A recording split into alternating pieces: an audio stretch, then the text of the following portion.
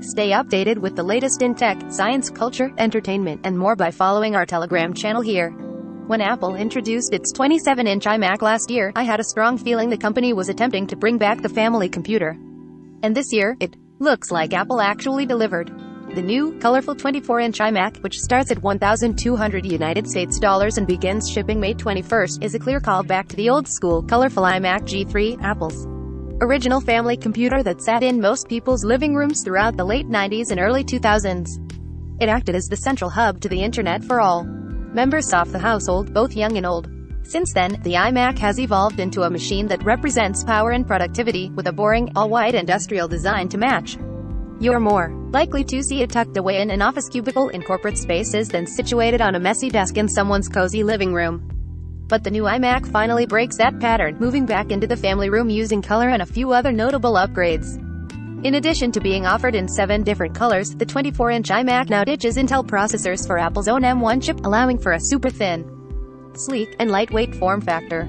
Throw in a 1080p camera for all those video chats, a 4.5 Kelvin's Retina display for binging Netflix, Touch ID built into the Magic Keyboard to easily switch between user profiles and input passwords, to name a few, and you've got yourself the ideal at-home iMac. The iMac is finally exciting again.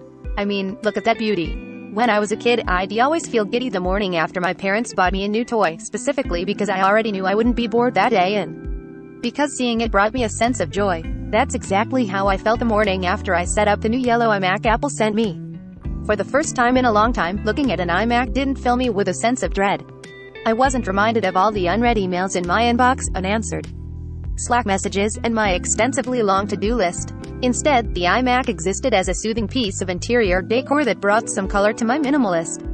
If yellow isn't your preferred iMac color, you can also choose from orange, green, blue, pink, purple, and silver. Regardless of the color you choose. Each one has a white bezel and pastel-colored chin on the front, while the stand and back of the machine are more pigmented. So, for example, the chin on the yellow iMac is muted, which plays nicely with the white border, while the rest of the hardware is a metallic gold. And, you'll find the same goes for the rest of the colors. The back is home to a metallic gold. Image, Molly Flores Mashable.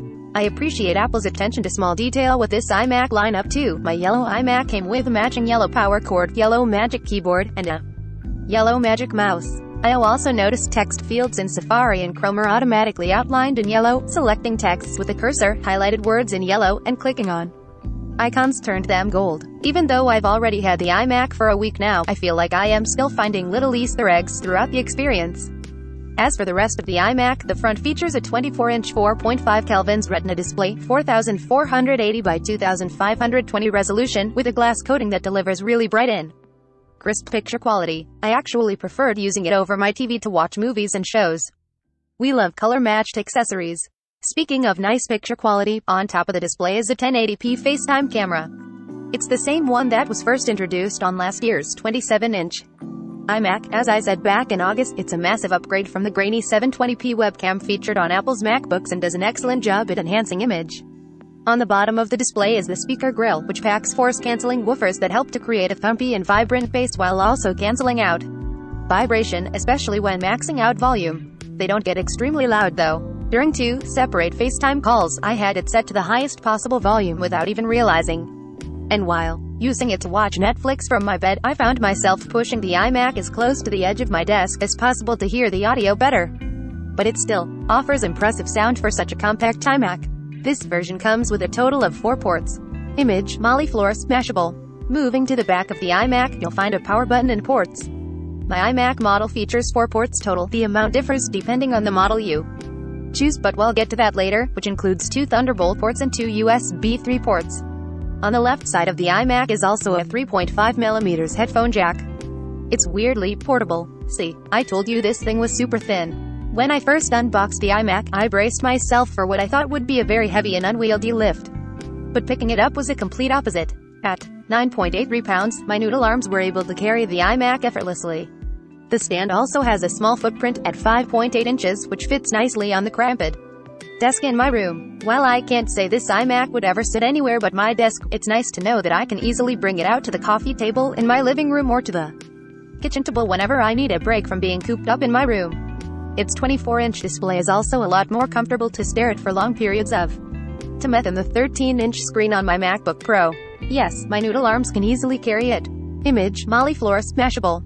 I also wouldn't be opposed to packing this thing up in my car and traveling with it if the opportunity arose. I can't say the same for the 27-inch iMac. That weighs 20.8 pounds, which caused me anxiety to move even slightly. I never thought I would praise an iMac for its portability, but here I am, and that's the point. Apple designed it to be lightweight and thin on purpose, allowing you to move it from room to room without feeling like you just finished an arm workout. Colors will vary, though. Yes, the iMac comes available in seven different colors, but colors vary depending on the configuration you choose. Each one includes the same M1 chip, but you have a few different options in terms of memory and storage. You can increase the first configuration up to 16 gigabytes of memory and 1 TB of storage, while the last two options can be upgraded up to 16 gigabytes of memory and 2 TB of storage. Of course, depending on what you choose, that LL come at an additional cost. The base configuration also comes with a standard Magic Keyboard, while the two more expensive options includes a Magic Keyboard with Touch ID. You might want to spend the extra 200 United States dollars for the Magic Keyboard with Touch ID. Apple sent me the latter and while I can't say it revolutionizes the experience, using my fingerprint to download apps and make purchases via Apple Pay is a lot quicker and less annoying than having to manually type my passwords in each time. It'll also come in handy for those who have a bunch of family members using the iMac, since it allows you to switch between user profiles using each person's respective fingerprint. This is the iMac to buy. Hesitating on buying this iMac? I promise you don't have to. Image, Molly Flores Mashable. While I can't speak on behalf of creatives who push their iMacs beyond its limits for graphic designer editing photos and videos, I can speak for the regular people out there who just need a snappy iMac for emails, web browsing, and messaging through the day, and entertainment at night. If you've been holding off on upgrading your desktop or feel hesitant to drop over 1000 United States dollars on this new machine, I can assure you it's worth the investment. The 24-inch iMac is an excellent compact machine that packs enough power to provide a super smooth experience. Plus, the pop of color alone will automatically boost your mood on even the roughest of days. Unless you get the silver color. I can't help you there. Watch Apple's 420th event in 10 minutes.